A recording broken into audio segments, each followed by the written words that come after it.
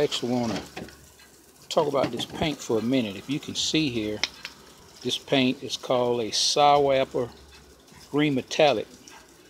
And uh, I want to take a picture. Hopefully I won't drop my phone over this paint.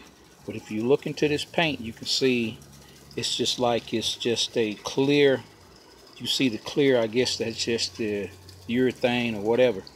And at the bottom is nothing but metallic. So I'm going to try something different today uh, when I initially sprayed uh, the paint, I used uh, what's recommended a 1.3 nozzle.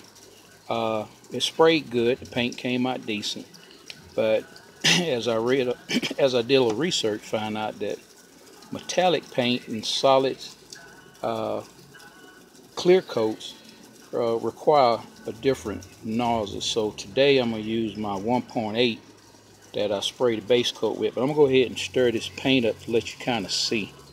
Okay. As I stir it up, you see how it's starting to just come up. This thing is full of metallic. Just full of metallic. It's pretty paint.